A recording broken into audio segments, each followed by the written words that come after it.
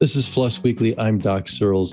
This week, Shawn Powers and I talk with Marko Saric of plausible.io, which offers an alternative, an open source, free, though it can cost you if you like, alternative to Google Analytics, which I just found out on this show is actually illegal now in some countries, or maybe it is. That's what we're hearing. And there's it's a controversial topic, Google Analytics, and not everybody likes it, even though it's widely deployed. And we go very much into depth on what you can do to get around the things people don't like in Google Analytics and the things you would like about your analytics and compliance with GDPR and all the rest of it. It's all coming up next. Podcasts you love from people you trust. This is Twit. This is Floss Weekly, episode 675, recorded Wednesday, April 6th, 2022. The plausible.io alternative to Google Analytics. This episode of Floss Weekly is brought to you by NetFoundry. Make the security of the network entirely irrelevant by isolating your applications and data with open source embedded zero trust. Grab your free swag and free tier now by going to netfoundry.io slash twit. And by Bitwarden. Get the password manager that offers a robust and cost effective solution that can drastically increase your chances of staying safe online. Get started with a free trial of a Teams or enterprise plan, or get started for free across all devices as an individual user at bitwarden.com slash twit. And by Kolide, that's Collide with a K. Get endpoint management that puts the user first. Visit kolide.com slash floss to learn more and activate a free 14-day trial today. No credit card required. Hello again, everybody everywhere. I am Doc Searls. This is Floss Weekly, and I am joined this week by the great Shawn Powers. And also the mediocre Sean zone. Powers. you have the whole the whole portfolio there. yeah. Me, myself, yeah. and I. You're looking good. Well, thank you. You're well thank lit. You. you know, it's it's it's not snowing anymore in in northern Michigan, so that's a that's a plus. Uh, it's changed to rain. So it's it's funny living at the other end of an adjacent state. Uh, right now, I'm in southern Indiana. Um, I always look at the weather maps, and there's always like snow. It's always blue or green where you are. I could always look at that. Yeah, I'm always looking at your weather more than mine because ours is just rain. We just get rain. We don't get snow here. Yeah, we get rain, and then it'll freeze and yeah, it, it's I guess we don't have any other natural like disasters. You know, like there's no tornadoes up here. There's no hurricanes up here. There's no flooding apart from my basement up here. Uh, so we get snow. I guess that's our that's our thing, right? We get snow. No, nothing since the glacier left eight thousand years ago. yeah, exactly. Which is actually fairly recently. they were building pyramids not long after that. So our our guest today is uh, is Marko Saric of Plausible Analytics, who does a uh, um, a Google Analytics alternative. You up on that or at all, or have you kept up with this kind of thing? Uh, enough so that I have a lot of questions because, um, I mean, Google An- Analytics is you know kind of ubiquitous; it's everywhere, and that's some of my questions are going to be in regards to that. But I'm also curious. So, why have an alternative is a is a big question of mine. I mean, is there is there an advantage to the end user? Um, is it less creepy? Uh, I'll, I'll I'll wait until Marko can answer, but I have a lot of questions about that because I have a lot of websites, right? Like you'll see my my yeah. lower third here. I had um, Ant change that just to like my central landing place where it has links to all my different websites and and so on all those websites now I'm thinking, okay, analytics are good, right? I mean, juicy juicy data, but I also care about privacy. I don't want to be creepy. Um, so yeah, I'm curious what what the alternative, not just that there is an alternative, but what that really means to have an alternative. So, yeah. yeah well, we, I don't know if you remember, we at Linux Journal, we dumped Google Analytics because we found that not only were the analytics themselves bad, our readers were blocking it anyway. And this is before we even had the GDPR required cookie Right, notices and stuff like that. And um, and I don't know what we went with at that time. It's gone. Uh, the site's still there, but we're gone. So I don't know what's what's going on with Yeah, and that now. I think Good. that the you know blocking tracking is pretty much a, a general sort of blacklist. So I, I'll again more questions. You know, once we get Marko here, uh, does he find that if people block Google Analytics, that their stuff is kind of blocked in the whole mix, or or if there's a if there's some sort of a differentiation that takes place? And I don't know if he'll even be able to answer those questions, but I think they're good questions to ask. Well, we will find out shortly after I let everybody know that this episode of Floss Weekly is brought to you by Net Foundry. If only there were some ways to stop uh, DDoS attacks, brute force, credential stuffing, CVE, or zero day exploits, BGP hijacks, phishing, and more. Well, there is by using OpenZiti. It's open ZITI. to isolate your applications and data, making the security of the network entirely irrelevant. OpenZiti, created and maintained by NetFoundry, represents the next generation of secure open source networking for your applications. It provides everything you need to spin up a truly private zero trust overlay network in minutes across anything directly in your app on any device or in any cloud built on principles of extensibility, flexibility, and scalability. Give your apps superpowers using an OpenZiti SDK and a few lines of code, or use their tunnelers to spin up zero trust networking in minutes across any cloud or device. Using OpenZiti isolates your apps and systems so they cannot be subject to external network level attacks from malicious actors while protecting from internal or even OS networks, such as being immune to network side channel attacks like phishing. No need for expensive and risky reactive patching. Agnostic design patterns ensure you only need commodity internet with outbound ports without needing network engineering skills to implement it. Say goodbye to complex firewall rules, inbound ports, public DNS, static network access controls, and VPNs. Eliminate the tug of war between developers and security. The former can work programmatically with software, while the latter have isolated apps driven by policy, visibility, and logs they require. Zero trust is a journey, so start wherever you need based on your priorities. OpenZiti offers numerous SDKs, tunneling apps for popular OSs, and edge routers in cloud marketplaces. If you don't want to host OpenZiti, use the NetFoundry SaaS, including free forever tiers for up to 10 endpoints. OpenZiti is trusted by developers at Microsoft, Oracle, and Ramco. Head to netfoundry.io slash twit to learn more and get started. That's netfoundry.io slash twit and get your free swag and free tier now. Okay, so our guest today is Marko Saric of Plausible Analytics, uh, a floss, a floss or a FOSS alternative to Google Analytics.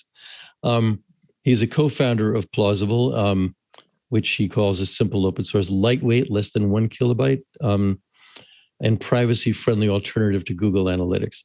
Um, this is actually a subject dear to my mind and heart. So, welcome, Marko. There he is. Hi guys. Great. Thanks for having And me on. and you're in Brussels.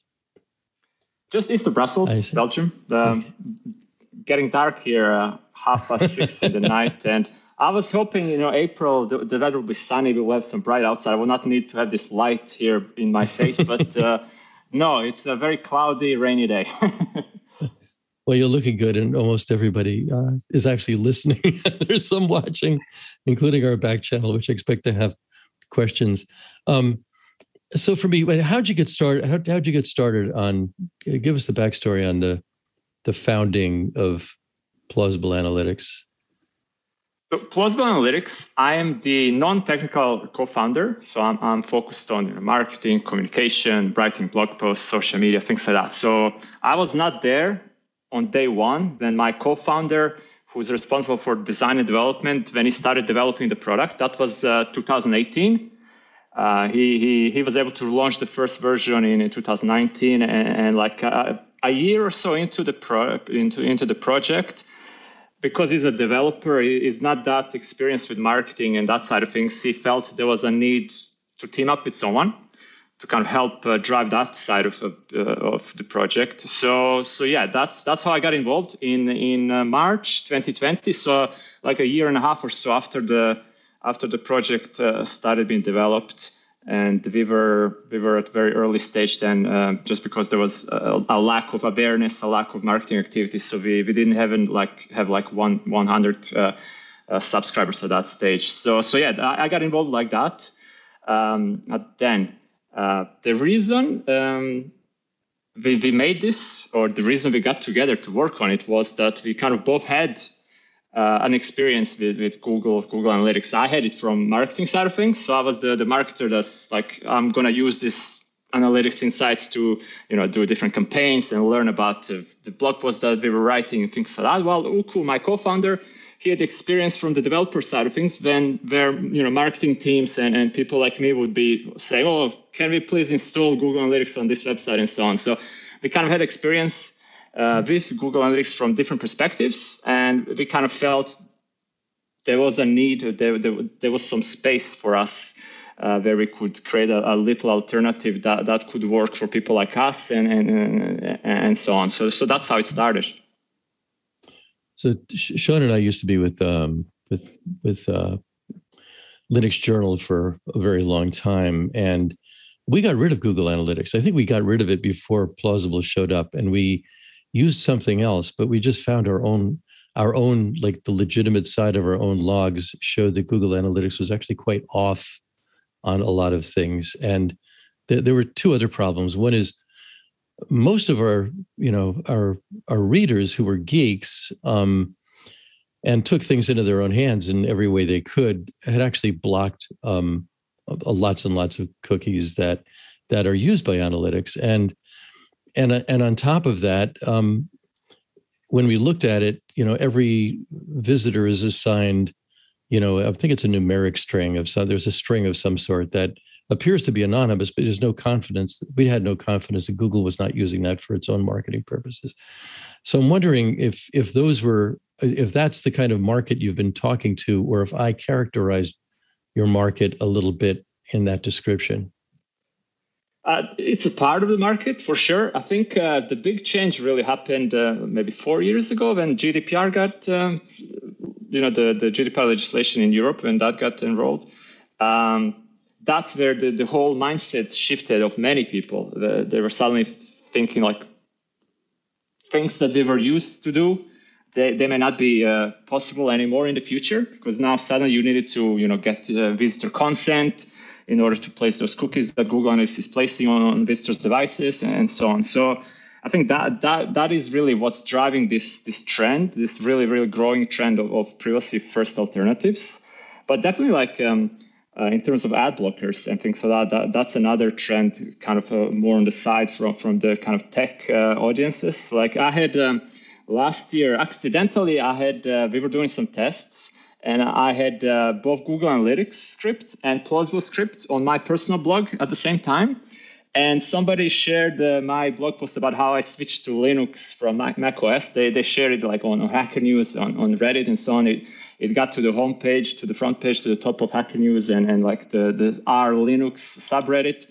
And so I was able to, to take that really, really tech heavy traffic and kind of compare these two.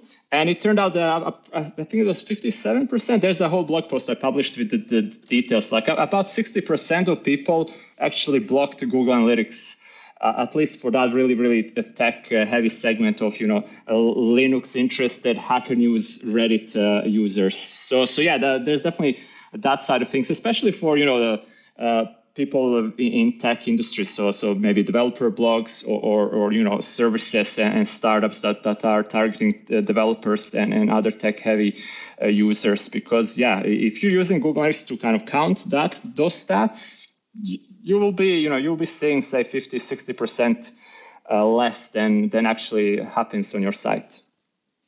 No, do you, so this was a blog post. Is this something that you um, hosted where you could compare like I guess where did you get that percentage from? Was that based on uh, the numbers from Google versus the numbers that your server yeah. told you? And then no, no, no. how, so, how much compared to the plausible code? I'm curious. You know, yeah. there must be some that's blocked uh, plausible too. So there is a, there's this thing. Even, even Google Analytics does it these days. There's a server side tracking. So basically, that kind of thing is unblockable. This is something I was uh, you know discussing with right. you know block list maintainers and things like that. Like the markets some people are, are saying, okay, there's many people using ad blockers, but we don't want to switch to a privacy first alternative. We just want to use Google Analytics, but we want to count people that use ad blockers. So now there's this server side alternative that Google Analytics introduced. So, so there's actually a way to count even ad blocker users in Google Analytics. But what I did on my blog was have the, the normal um, Google Analytics script. That was one, just the default one. And I had the the plausible analytics run from my own uh, domain name through a proxy. So I was able to actually see the real number of, of uh, this is um, this is a different post. The, the post I'm discussing right now is on the plausible itself, plausible.io forward slash blog. There, there's one article called uh, I think 60% of, of Hacker News uh, users are blocking Google Analytics. So basically, yeah, I had uh, Google as default, plausible proxy, and I compared the two. Uh, if I if I use the server logs, uh, the, the, the difference will be much larger just because server logs don't uh, exclude uh, bots and non-human traffic. Uh, so like uh, there's, there's also I did a study on on like difference between um, plausible, which is a JavaScript based analytics, and and server log tool. And that, was like 17 times more traffic on server logs, just because you know the those don't exclude uh, uh, bots, crawlers, all the other non-human traffic. So that's kind of less relevant for this conversation. I think uh, we can uh, that uh, my experience there, at least for that Linux post on Hacker News, uh, showed at least that 60% or so people are using some type of ad blocker of, of actually real human people because Plausible is also okay. excluding all the bots like Google Analytics is. Okay, so um, it's clear that at least right now, um, you, you, probably get better analytics using your code. Do you think that that is uh, due to a, a lack of um, market saturation, to use some pretty cheesy words, um, where you're not being actively blocked because you're you're not necessarily as highly known as uh, as tracking code, or is is there an inherently less creepy thing that your code does that uh, possibly people aren't actively trying to block? And I, that's kind of a loaded question. I mean, obviously, mm. you're going to say, you know, no, our code is much less creepy. But I mean, what, what is it about uh, the difference between the two that makes you more attractive to somebody who uh, is is browsing a website where they're like, no, that's fine. You know, I, am okay. Uh, you know, the JavaScript working from Plausible IO. There, there's two parts to this question. Um, one is first of all, uh, plausible is is is new. You know, it started a few years ago after GDPR was introduced. So we, we basically made plausible with GDPR in mind. So there's no cookies. We don't use any cookies. We don't have any type of long-term identifiers. So say I come to a website today and I come back two weeks after. With plausible, you will not be able to see that it's the same one person. We will be two different visitors. While with Google Analytics, you'll be able to see, okay, this person returned two weeks after. Uh, we don't do any any cross-site tracking. We don't do any cross-device tracking. So with Google Analytics, again, you you will be able to know if I have my mobile phone, if I'm a laptop, and then you will be able to figure out that this is the same person. None of these things are are possible with with uh, plausible. So that's kind of a quick summary of uh, that, like why we're less creepy. Obviously, we're on the Floss Weekly show, and we're also you know fully open source project. Um, the other side is the ad blockers. So, so when when I started a bit plausible, my my impression was like, okay, we, us and ad blocker maintainers, we're on the same side here. You know, we're trying to remove Google Analytics from as many websites as possible with something open source and and, and you know more privacy first. They're trying to do it their way, like by uh, using the ad blockers that, that kind of block all the, all the nasty scripts. Uh, so that was my impression what happened about a um, year, year and a half ago when Plausible suddenly started becoming popular on Hacker News and so on was that we found ourselves in conversations with ad block maintainers who decided to block us too. Um, so there was uh, we had uh, several discussions with um, some of the, the guys. I mean, I, I use uBlock Origin myself, so uh, I, was very familiar with that um, uh, with that kind of industry. If you want the the, the, the niche, um, but yes. Yeah, so basically, the view of many ad block uh, maintainers is that they don't want to. At least those ones that I spoke with was that they prefer to block everything. The, most of them will just want to block any JavaScript when they, they tell me like that. But basically, they prefer to block everything. They, they don't want to decide which analytics tool is, is better than the other, which one is, is more privacy first, which one is less creepy. They don't want to have to kind of have that responsibility. So so what happens is that they're um, they're blocking everything, at least uh, you know the the easy privacy and block list like that. While uh, you know obviously these days Firefox has a block list, Safari has a block list. Uh, those are not blocking uh, um, tools like Plausible at this stage, but they are blocking Google Analytics. So, so there's a there's a bit of disconnect here, and there's uh, different uh, different people doing different things. Okay. Um, one one last follow up question there. So, blocking those is generally, uh, and you could correct me if I'm wrong. I'm I'm just kind of going on assumptions here, but largely on domains, right? I mean, they, they block the Google Analytics domain. Is uh, so your product is open source, but is everything still uh, run from your servers? So I mean, they they can be blocked by by domain, or are there components that are hosted on the local web server that would? Uh, I, I don't know. Open source is an interesting uh, addition because it seems like it would allow you to do more um, flexible hosting of the the JavaScript versus if if all the um, analytics is done uh, locally or could be done locally, or is it just the actual uh, code? I guess my real question here that I'm now I'm rambling is uh, what is it that's open source and what is it that um, uh, that plausible does um, that maybe isn't completely um, self-hostable kind of thing? Okay, so basically, Plausible Analytics, the product, the code, is is fully open source. You're on GitHub, you can you can go view it there. You can see all the development. You can view all the code, inspect it, fork it. Uh, you can. We have a um, we have a, a, very easy Docker container. So we made it very easy for people that want to, people that can, to self-host it on their domain names on their servers. Uh, the other side of things is that we have uh, our cloud version, which again is open source. The same code is running on both the, the container and, and, and our cloud. It's just there in, in, you know it's there for people that uh, say don't have the, the experience with self-hosting things or or they they're like oh I don't want to deal with uh, self-hosting I want somebody to, to manage it for me it's kind of easy and convenient uh, so we have this um, this service in the cloud which is uh, which is subscription based. Again, we, we don't like uh, we don't use the data we collect. We don't use for any purposes.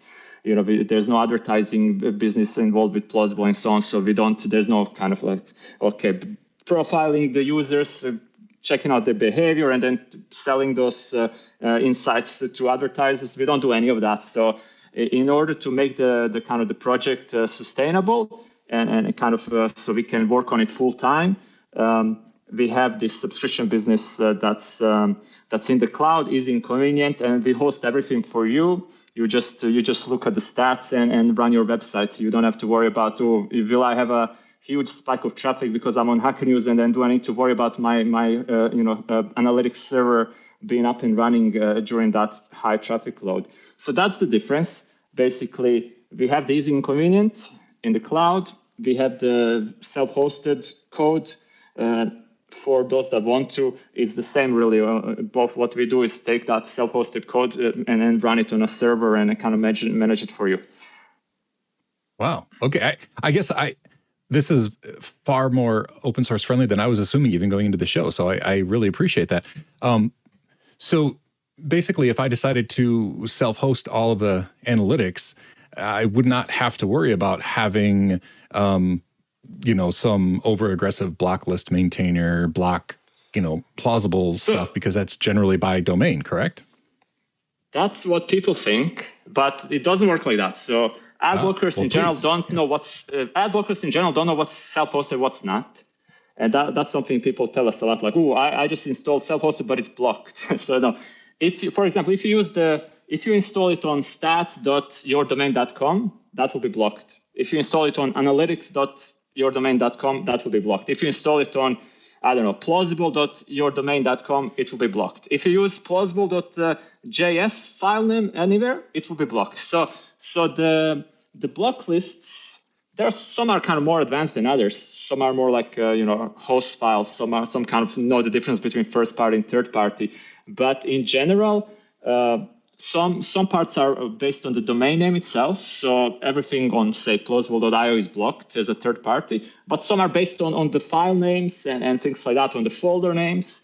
So if you want uh, to run say self-hosted plausible on your site, you should try and call it something not related with stats or analytics or plausible. You should, you know, just something irrelevant in order not to be caught by by the adblock maintainers. So what happens then is that in some cases, if they do find it, they will still add you to the list. If they figure out that, okay, this is an analytics script, you'll be manually added to the list. But uh, otherwise, they, their kind of general filter won't catch you if you're just using, you know, I don't know, you might call it floss.yourdomain.com. In that case, it probably won't be blocked, at least not immediately. Just avoid wildcard things if, you know, want to do it. I, I guess that makes sense. Um, all right, I, I guess that that makes me think more. But I, I actually appreciate the the openness of the product because um, that's far more open source than I than I thought. I thought it was going to be like a, an open source client that had to report back to your mothership that we were just assuming was um, not creepy. So I, I, appreciate that. That's that's incredible. I'm actually will for sure be trying it out because um, I have a lot of sites, and that's uh, I, I have questions about implementation too but I know that Doc has something else before. I I have some the something else that I have is um, and I have a question definitely following this, but I have to let everybody know that uh, this episode of Floss Weekly is also brought to you by Bitwarden. Bitwarden is the only open source cross platform password manager that can be used at home, at work, or on the go and is trusted by millions. With Bitwarden, you can securely store credentials across personal and business worlds. Every Bitwarden account begins with the creation of a personal vault. Bitwarden recently added a new command to the command line interface serve. That's the command, which will start a local express web server and enable RESTful API calls for interaction with the encrypted vault. Now, it's easier than ever to integrate Bitwarden into existing systems and tools. We can't wait to see what automations and processes the developer community creates. It's easier than ever to switch over to Bitwarden with improved support for importing from Dashlane, 1Password, and Myki. Easily import from browsers or other password managers. Last month, Bitwarden started the phased rollout of account switching. Today, it has come to mobile applications. Log in to a total of five Bitwarden accounts to easily switch between without having to log out and log in again. This is perfect for those that use Bitwarden at work and at home. Bitwarden is a must need for your business. It's fully customizable and adapts to your business needs. Use Bitwarden Send, a fully encrypted method to transmit sensitive information, whether text or files. Generate unique and secure passwords for every site with enterprise grade security that's GDPR, CCPA, HIPAA, and SOC 2 compliant. Their end to end encrypted vault helps mitigate phishing attacks. Their team organization option is $3 a month per user. Share private data securely with coworkers, department, or entire organization. Enterprises can use Bitwarden's enterprise organization plan for just $5 a month per user. Individuals can use their basic free account forever for an unlimited number of passwords or upgrade anytime to their premium account for less than a dollar a month. Their family organization option gives up to six users premium features for only $3.33 a month. At Twit, we are fans of password managers. Bitwarden is the only open source cross platform password manager that can be used at home, on the go, or at work and is trusted by millions of individuals, teams, and organizations worldwide. Get started with a free trial of a Teams or enterprise plan, or get started for free across all devices as an individual user at bitwarden.com slash twit. That's bitwarden.com slash Twit.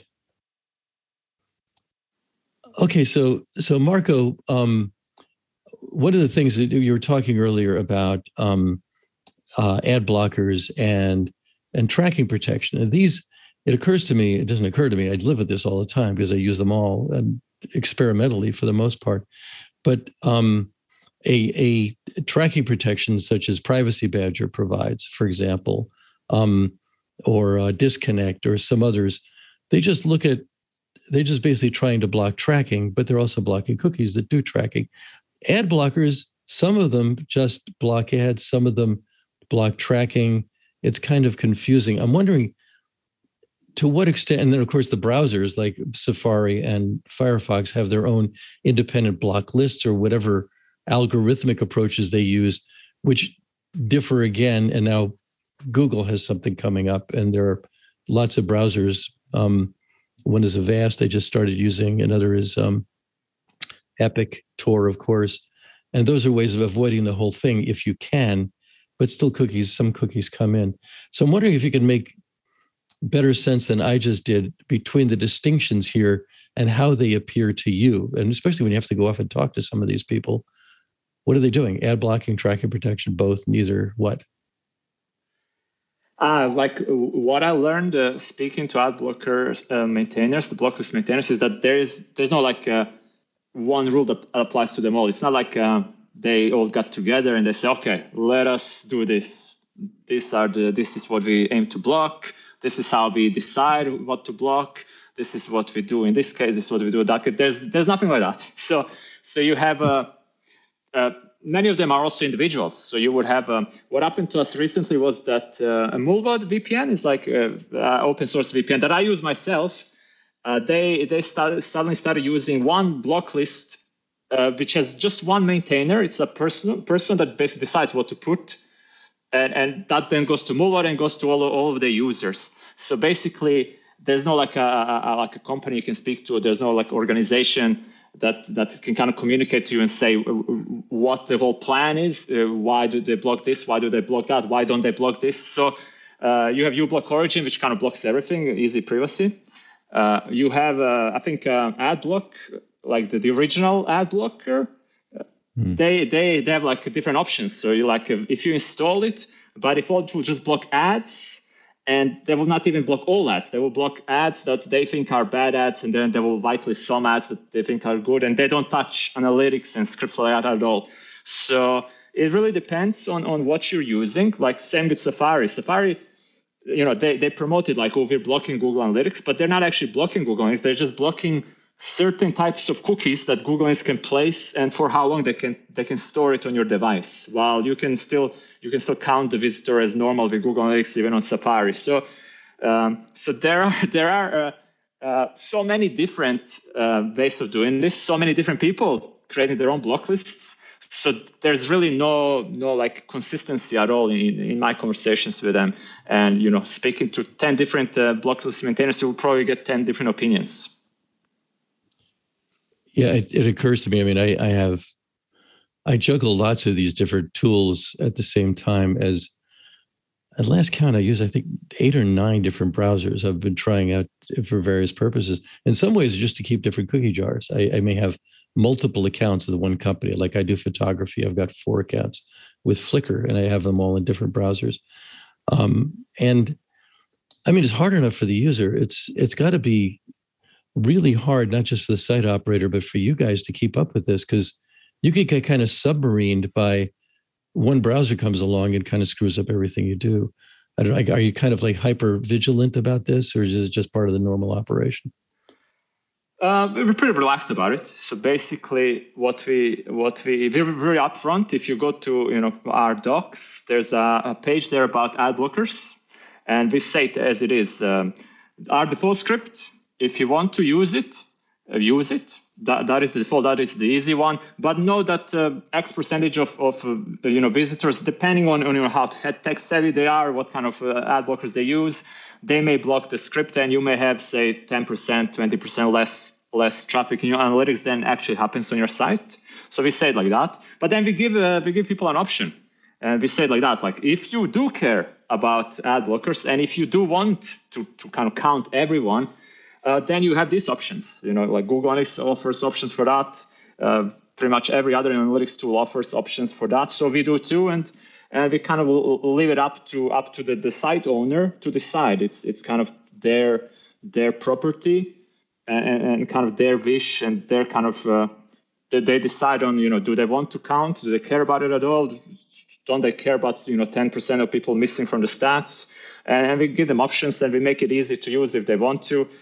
Uh, there's this proxy option. Uh, there's like an easy Cloudflare worker option that takes like two minutes to set up. Then you run plausible from your own, uh, like a, from your own domain name, uh, without needing to self-host, which is kind of a, a, much more difficult thing to do. So yeah, we, we're we're pretty much relaxed about it. It's something uh, early on, like last year when I first encountered this, because I did not expect this that you know plausible will be seen as just kind of similar to Google Analytics, and it will just be blocked by so many maintainers. I did not expect this. So early on, it was a bit. Uh, it took a while to to get that point of view. Uh, the, the, kind of there's they don't see the difference between they're like any tracker just block everything and any JavaScript any third party kind of.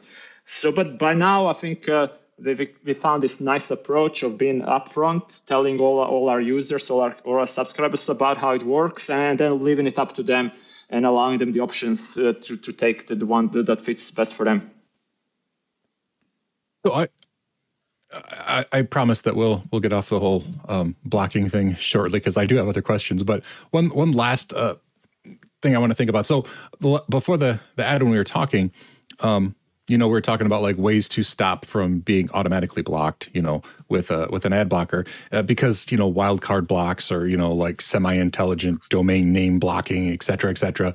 Um, I, I think I I want to be clear too that um, I, I think my goal and probably most of our our listeners or viewers' goals would uh, be to um, not consequently get blocked by those block lists, but at the same time you know, I want to respect people's privacy.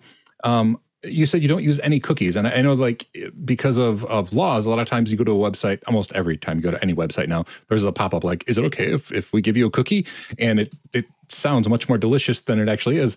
Um, if you don't use cookies, does that mean that you don't have to uh, have warnings like that? And and either way, is it possible for a person to opt out of tracking or is, that something that uh, uh, an end user like myself could facilitate so that uh, you know I don't want to automatically get blocked you know by anybody who's using a, a an ad blocker because I mean I do too. It's a you know the internet is no fun with with just ads everywhere.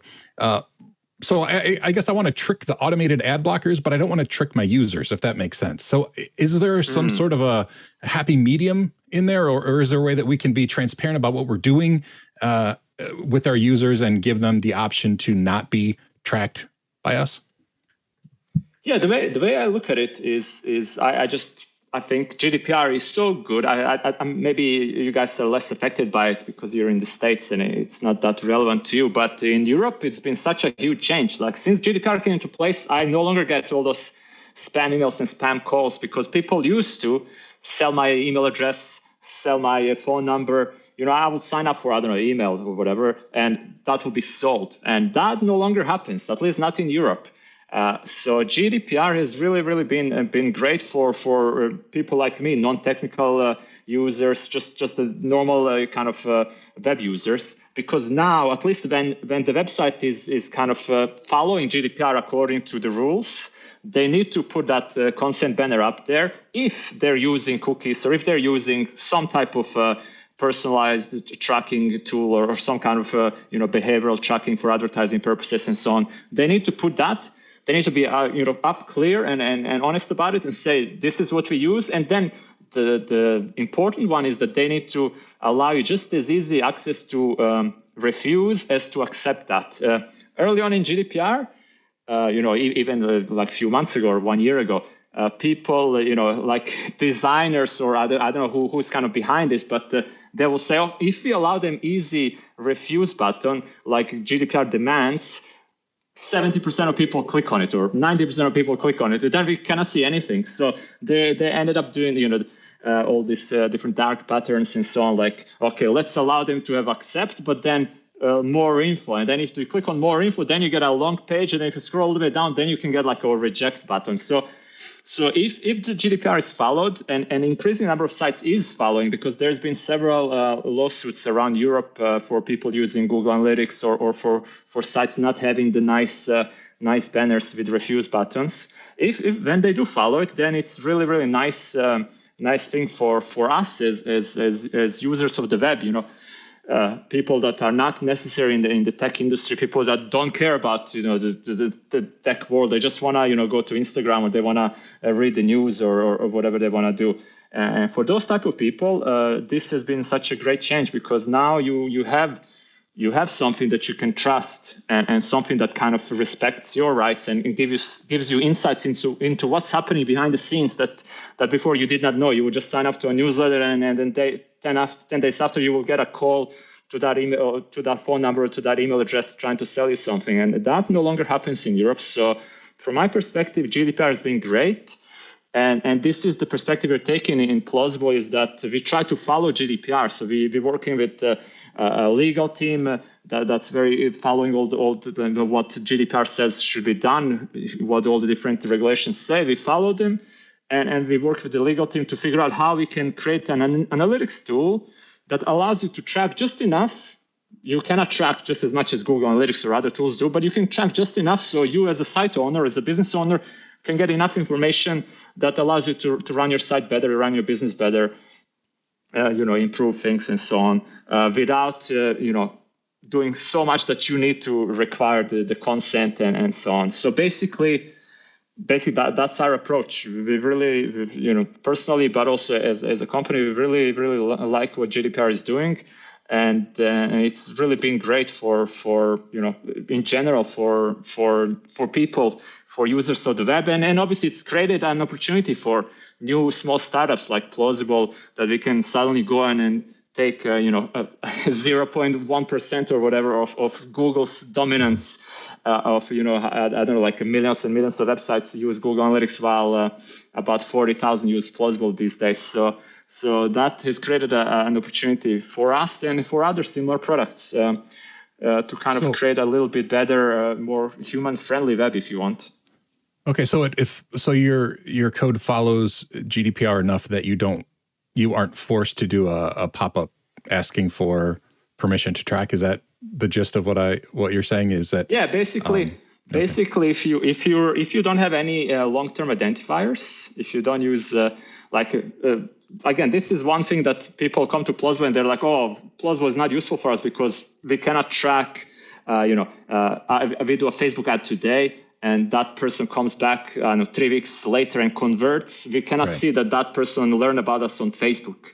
And these are the things that you should or you are required to put that consent banner up and ask user for permission. Or can we track you like this so we can learn about your consequent visit and, and so on? But with Plausible, you cannot. So we don't use cookies. We don't use any kind of local storage, any type of uh, way of figuring out these kind of long-term identifiers, uh, which is uh, good from GDPR aspect, from privacy aspect. But some some people in the you know marketing world and so on, they're, they're like, this is not good enough for what we are used to with Google Analytics.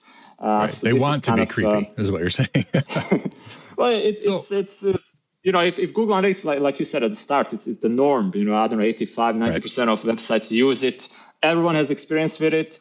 Uh, people, some people, you know, their jobs depend on it. Uh, so uh, going to something that's completely different in that sense, like these kind of long-term identifiers and the ad behavioral kind of retargeting is another big one that's um, uh, so that kind of stuff is, is difficult to uh, kind of give up for some people, but uh, definitely GDPR is kind of slowly, slowly making its way. You know, the, the law is moving slowly, but there's big changes happening in, in Europe on European websites uh, every day. You you see uh, less and less of those um, those kind of fake banners that kind of tell you click more, and then now pretty much every website right. gives you one easy refuse button, and then you you don't have to worry about uh, you know, is my is my data going to be sold to to someone, uh, you know, further down the line? Okay. Very cool, very cool. So you you did mention that it's that it's everywhere, um, and I, I did. I started the show by talking about just how ubiquitous uh, Google Analytics is, and I, I promise that's the last ten dollar word I'll try to use. But uh, it's everywhere, right? I mean, every every application that you download. For example, uh, if you go, like I pointed to my that little uh, ShawnPowers.com uh, website, when I installed it, it's a it's a little server running a Docker container, and it just has a bunch of links to my various online locations. But as I was, if you go there now, I'm pretty sure Google Analytics is turned on, and the only reason is because while you're setting it up, there's a little spot to paste in your tiny little like I don't know how many digit code, right? It starts with like G something, or I don't even know what it starts with, but yeah. that's all you have to do to implement it. Everything else is baked in.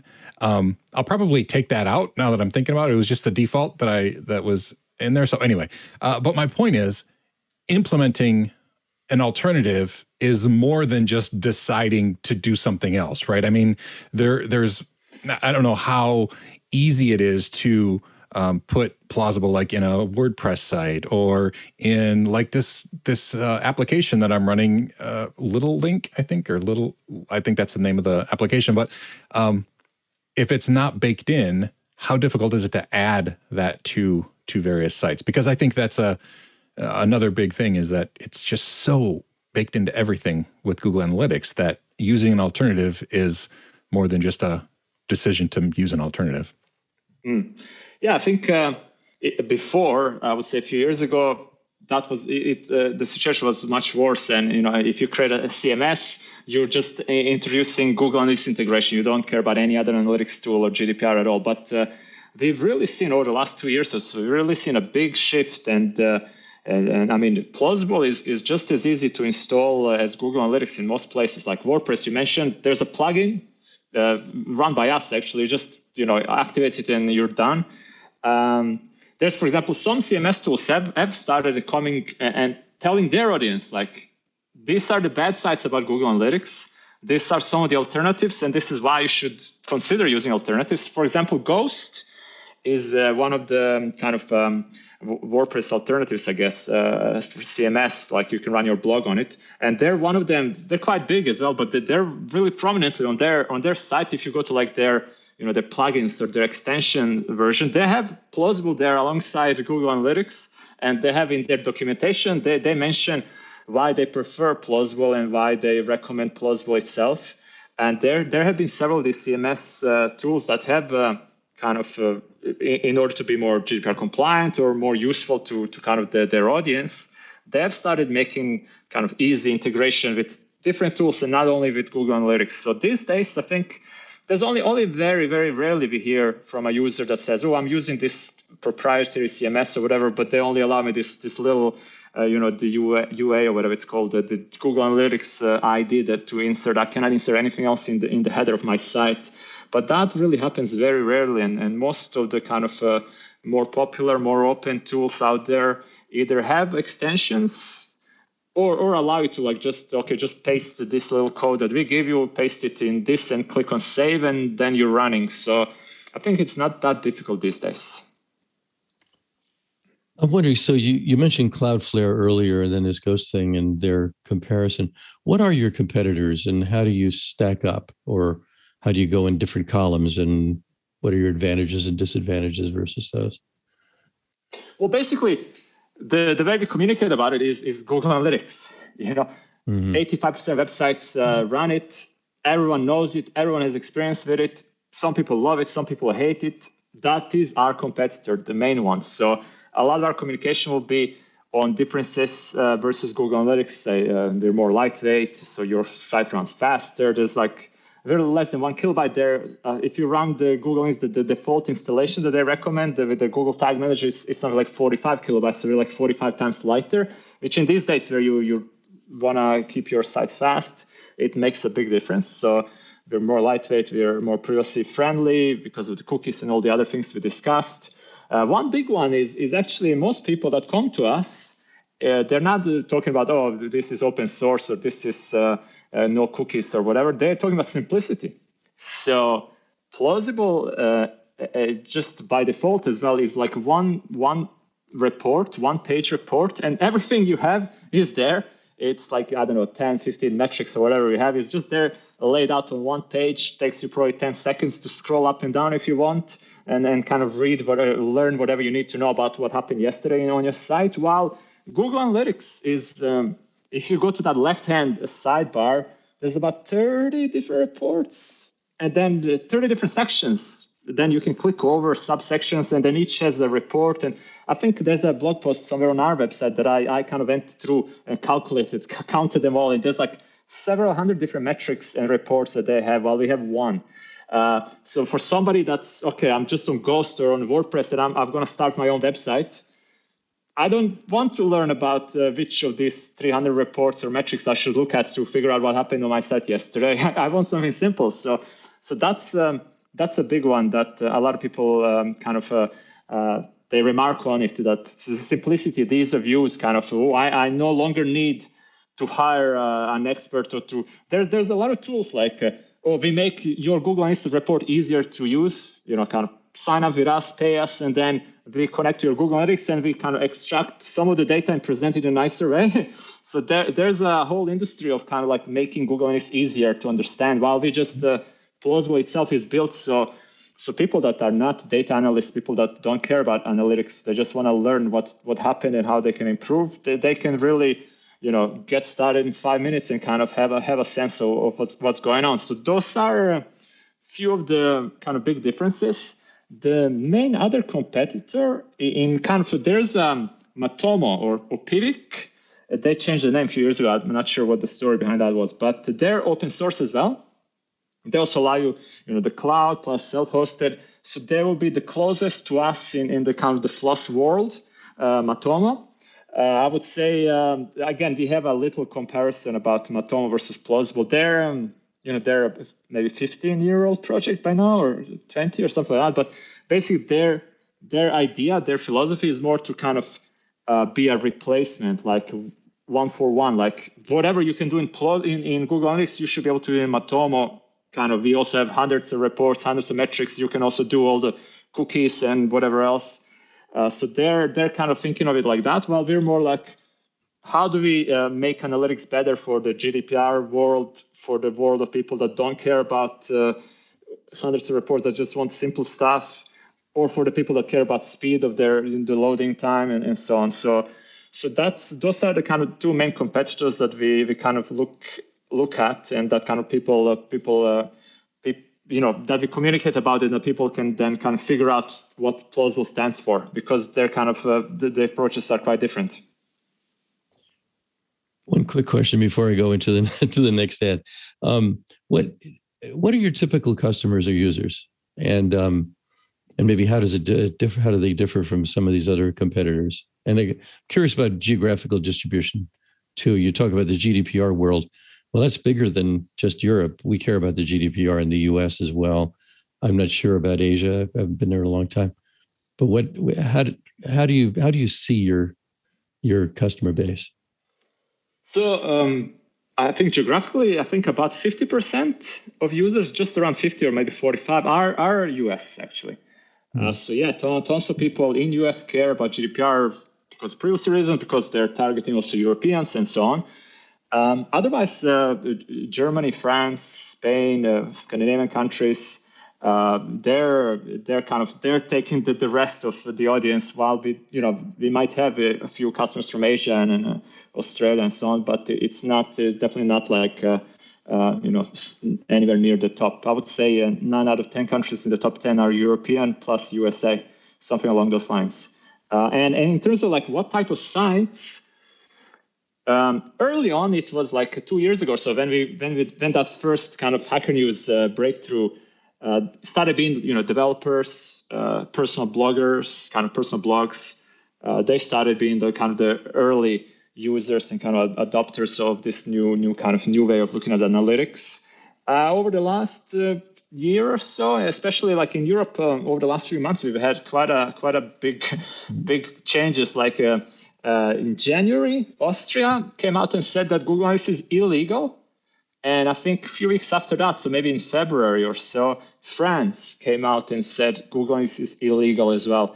And I think uh, the expectation is that several other European countries will come and say the same over the next few months. So uh, in the last few months or six months or one year or whatever, we've seen uh, uh an increasing number of, of uh, companies, like uh, real businesses that that are like looking at them, that they have data analyst teams like the analytics is something they're paying a team of people to work on. And we've seen uh, companies, uh, large companies like that, uh, adopt uh, uh, plausible as well. So that that has been really cool. That right now we're kind of serving, uh, we're serving anyone who who wants a good like privacy first, light to date, simple alternative Google Analytics we don't really care you know are you from usa or germany or, australia or, or you know are you uh, one person uh, uh, you know blog or are you like uh, 1000 people or or five uh, five team of analyst companies? So we're kind of serving everyone uh, which which is cool through our it, it all goes through our self-serve so there's no like um, some some companies like lock it behind like um, like a, a sales teams and you have to call sales and to deal with enterprise but we just open it up. Everything is transparent. You can see the pricing. You can do it yourself uh, sign up and pay. So we kind of uh, are, are like open uh, open arms kind of to everyone who, who wants a, a decent alternative to google. You know this this thing about i did not know that uh, austria and uh, france had, or had even thought about making google analytics illegal. There's a, a real shifting um, uh, env- um, regulatory environment uh, going on underneath everything. And I want to get to that after I let you know that this episode of Floss Weekly is also brought to you by Kolide. That's Kolide with a K. Kolide is a new take on endpoint management that asks the question how can we get end users more involved? This is in contrast to old school device management tools like MDM, which lock down your employees' devices without considering their needs or even attempting to educate them about the security of their laptop. Kolide is built by like minded security practitioners who in the past saw just how much MDM was disrupting their end users, often frustrating them so bad that they would throw up their hands and just switch to using their own personal laptops without ever telling anyone. In that scenario, everyone loses. Kolide, on the other hand, is different. Instead of locking down a device, Kolide takes a user focused approach that communicates security recommendations to your employees directly on Slack. After Kolide is set up, device security turns from a black and white state into a dynamic conversation.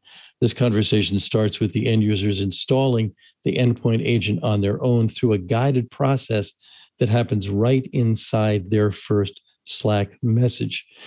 From there, Kolide regularly sends employees recommendations when their device is in an insecure state this can range from simple problems like the screen lock not being set correctly to hard to solve and nuanced issues like asking people to secure two factor backup codes sitting in their downloads folder properly.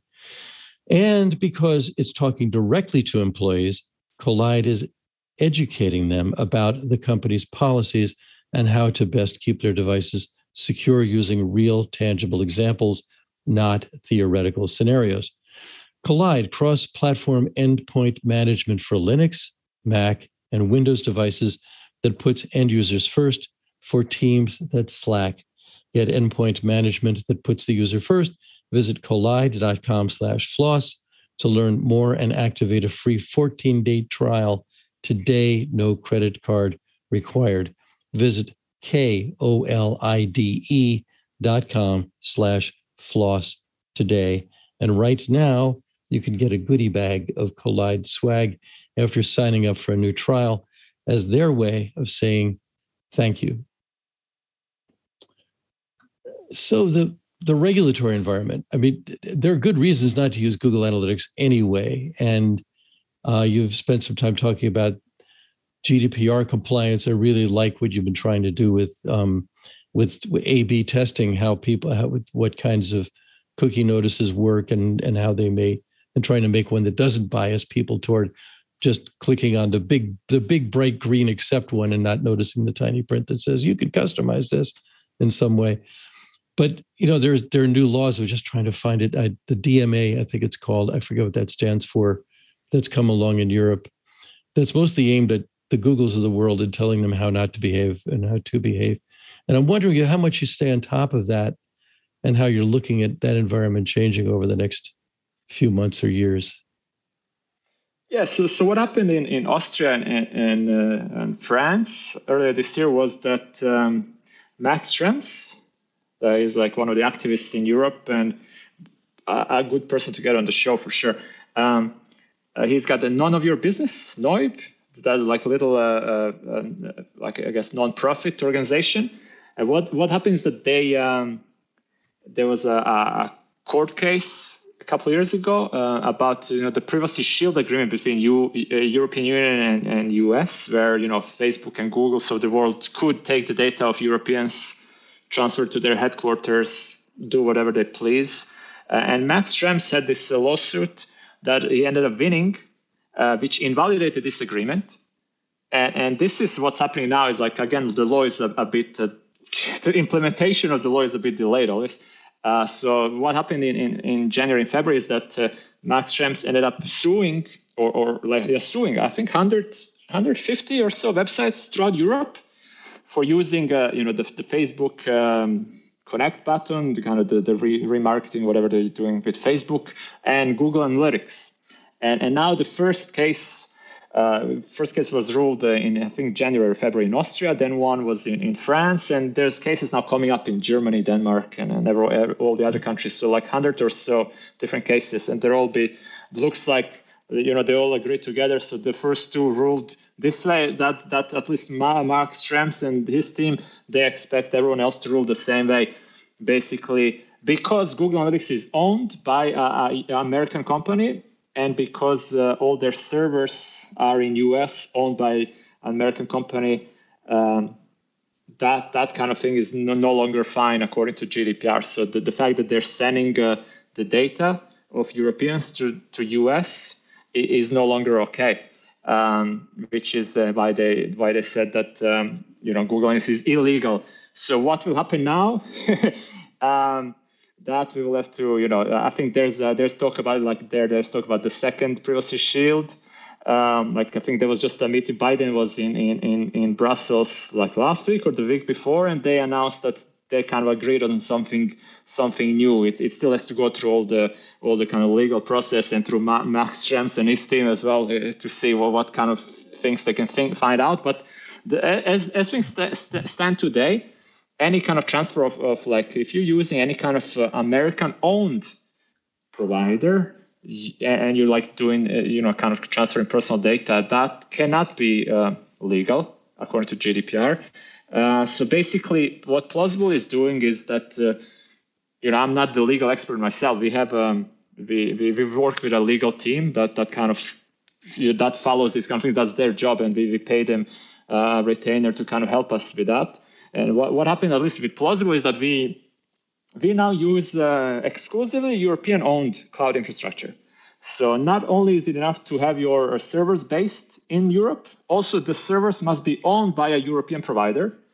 So now, like um, uh, you know, we, we, we switched uh, to something called Hetzner last year. Uh, that's a uh, German-owned, yeah, German-owned uh, cloud provider, like an alternative to all the big ones in, from the US, the, the AWS, the Google, uh, DigitalOcean, and so on. they're they're European-owned, so our, our now the data we collect is now uh, always stored in Europe, uh, in Germany, and it's it's the servers are owned by a, a European uh, provider, and we do the same for for everything else that we do. Uh, so basically, th- that's kind of the quick summary of, of what happened there in, in January, February in, in, France and Austria, and, and by um, at least Max Schrems, the, the guy behind all these lawsuits, is now expecting this to to basically run through all of Europe including Germany and, and all the other countries. And, and basically, in the next few months, what we, have seen a huge increase in, in like demand, or, or at least people looking at kind of asking about plausible over the last three months or so. if this continues to happen and like a country one after another uh, say these kind of things, the same kind of ruling, I'm not sure how we will deal with all the kind of uh, demand on us. Uh, we're we're a small team, uh, like bootstrap team uh, uh, right now we're four people. We just hired our fourth person uh, a month ago. So we will see how that will work because even at this stage, it's already kind of getting like, wow, it's it's busy. so that's fast. I actually I own and run a server in Austria, so I, I guess this is very pertinent to me. which actually leads me to the the last question that uh, that we have for you, that I have for you anyway.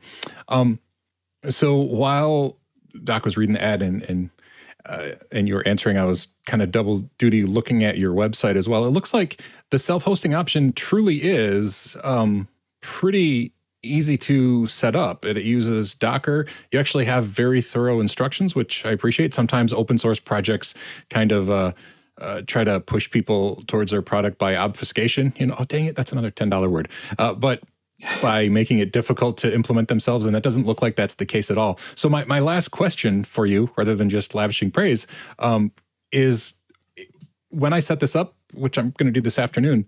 Um, it, will I actually have the front end too? I mean, will it will it actually be the the analytics stuff that I'm seeing, or am I only going to be installing some back end code and not be able to get all of the all of the awesome sauce? So basically, uh, what we've done is it, it's not a decision that's like a, a, business decision because it's it's not a good business decision. We've uh, we made our, our software free, libre, open source, free as in beer so if you if you care about these things if you know how to do it if you if you want to, to spend time on it there's instructions there's the, the docker container. You install it you can run basically the same as what we can run for you. But it, obviously if we run it for you everything is easier and you will also need to pay us uh, a fee just because you know so we can uh, we can continue the development of the pro- project and you know run it for you basically. So if you do it yourself we are not asking for anything. Um, like it's pretty common like open source like you mentioned. They either hide the self-hosted version or they kind of uh, okay you install it but then suddenly you hit a, a wall that says oh now you have to have a license or you need to upgrade and pay for this extra feature. With us you have the same product as, as you can pay us to host for you. You have the same you can uh, self-host it yourself. Uh, so there's uh, it's kind of fully open source in that sense. It's agpl licensed um, yeah, so basically that that's a kind of uh, that's a, a, decision we've taken is is uh, to try to be as as open as possible, and, and, and yeah, that's that's the way it is. Basically, we're kind of counting that by explaining how everything works. Our our like business model is like about subscription fees and we run it for you we, we spend the time on uh, developing the project and then hopefully a certain percentage of people will say okay that's worth it for me and i will pay them x amount of money per month to do it for me we're counting that that there's enough of that group uh, in order to kind of sustain the, the business. And now two of us are full time on the project, uh, and we hired two part time employees, and hopefully later this year we can make them full time as well. And uh, as the project grows, because of the subscriber fees, hopefully we can continue improving the project, get more people to work full time on open source software, and still keep that little option there, the Docker one. If you really do want to, you know, host it in your basement or whatever, you don't want, you don't trust us in any way. Like we, do, I don't, you don't, I don't want these guys to handle my server uh, at all. You have that option to like go completely do it on your own, and then the only only fees you have to pay for forever are just the fees the fees to to kind of run that server either to some different cloud provider or or you know electricity or whatever whatever you have. So yeah, completely free. Worth, all the yeah. And for what it's worth, I'm more likely to pay for a subscription service that offers me the option to self-host, just because I, I truly appreciate that that option. So um, I, I hope the business model works for you because that's how you get customers like me. So that said, Doc. yeah, thanks. We're going long here, so and I'm mindful that we actually do turn into pumpkins at a certain point. Um, uh, we we always close uh, Marko with with three questions, which we have time for. and uh, one very very brief one is: Do you have anything to say about blockchain? That's uh, one of our control questions. Blockchain. Oh wow. Uh, uh, not not much. I'm pretty busy with plausible these days to think about blockchain, but interesting interesting technology. I have um that I, I mean you mean like cryptocurrency as well. I have a I bought some cryptocurrency a few years ago just to kind of follow that uh, that kind of thing. It's it's exciting, but I don't have any kind of direct involvement, so Lucky I don't really have. yeah, I often reflect that when I did not buy cryptocurrencies. Um, so, okay, so um, you said you're not technical, but neither am I. What do you, what do you? But we ask anyway. Um, what are your favorite text editor and scripting language? Text editor. I, am using. You know what? I'm using Linux. I try to do. Uh, open source as much as I can. Everything open source is plausible, is everything open source, but I also run everything open source uh, if I can. So I use Linux, I use GNOME, Fedora. Uh, there is a thing, it's called text editor, I can see on my screen. So I, am using that. Uh, the other question, the, the, the scripting language, I don't write code, but a plausible is written in um, Elixir. I think it's called Elixir. My again, my, my co-founder will be the one to speak to about this. So I guess that's my favorite We one, even we though I will not be able to recognize it. I will not be able to That- recognize what Elixir is or what's the difference between JavaScript, Elixir, and whatever other language, but uh, I guess that's my favorite one. this is the one. I have the, the brand new. I have the brand new text editor that has replaced gedit Uh, I have. Uh, this is the one I have. Oh, very good. That's Ant for coming up with that. Wonderful. Well, well, Marko, it has been awesome having you on the show. You've given us a, a lot of very good answers, and uh, I'm glad we went a bit long on this one because it's a lot of stuff there. I have a list of questions here that we still haven't touched on, and we'll have to oh wow! pick them up at a future point. So, and I encourage everybody to to follow um, Marko and follow Plausible and see what they're doing. It's exciting stuff. Thank you. It'll be challenging as you keep adding people to your team. That'll be great. Hopefully. Thanks. So, Shawn, that was Yeah, that was an action-packed show. it was, and I, I'm just, I feel like I hugged the I hugged the camera a little bit. Or Mike, No, you I'm didn't, sorry, not at Doc. I was I was really interested though because I do host a lot of websites, and it's funny because he was talking about um, uh, trying to figure out data from the Google Analytics you know interface or whatever. And yeah, I I, I don't understand the interface there at all. I, I just don't. It, it I've gotten nothing but like, oh look, there's there's been a visitor to my site, and that's as much information as I can glean from that stuff. So I I truly am. I'm not just saying this because like, oh, I'm the co-host on the show, but I'm gonna set this up and and try it out on you know at least one or two websites of mine to see what it looks like. I, I'm excited. It's pretty cool. Yeah, there's a. Um, uh, I just think there's a. It's. I think it's. It, it's almost right in the middle of lots of different sort of controversial things, and I wish I remember better exactly what we went through at Linux Journal in getting rid of Google Analytics. But I remember looking at it, um, and there was some stuff in there that kind of creeped me out. You know, like it. You know, um, visitor number six five nine eight four six seven one J or whatever it was. You know, has been here three times and done these things, and I thought how hard is it to de-anonymize that? And do does Google de-anonymize that? Do you actually? Isn't Yeah, like better just to 35 know percent of your visitors prefer sleeveless T-shirts. Like what the? what the Yeah, and crap? How do you know just- that? Yeah, I, I it it seemed a little too personal to me, and um, and uh, and Google's too much of a black box about what it does with its data anyway. So that that that was in my mind as well. Um, and having something like this where you have people who are really trying to help you know what's going on with your website without having to creep people out is just awesome. Yeah, I came into the show expecting to be a grumpy Gus. I, I was expecting to to be the like, well, what makes that better than Google? Why would we want to go with an Yeah. alternative? When and I I was completely um not that way at all because uh, yeah, I didn't mention this earlier, but I, I. I think I, I don't. I mean, I I ran across plausible and Marko online somewhere and somehow, and I sought him out. I, you know, he's he's one of the fish that we caught, and uh, and I'm glad we did. It's been a good. It's it's been it's been helpful. yeah, I wasn't even sure it was open source when we started. I saw that it was like Oh, yeah. privacy focused, uh, but yeah, not only is it like is there an open source angle, but that angle is it's all open source. so that's Yeah. pretty awesome. Well, that's a that's a re- that's a threshold here. It has to be it has to be that.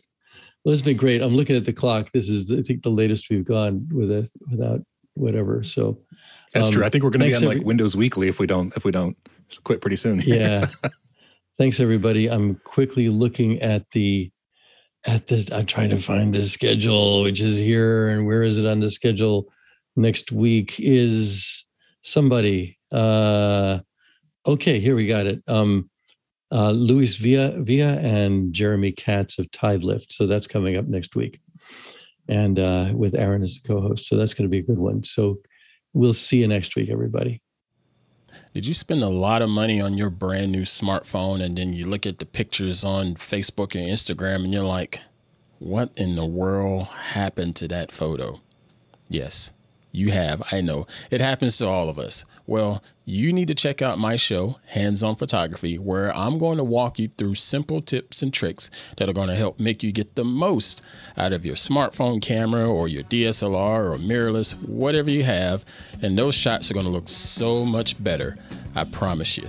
So make sure you're tuning in to twit.tv slash hop for hands on photography to find out more.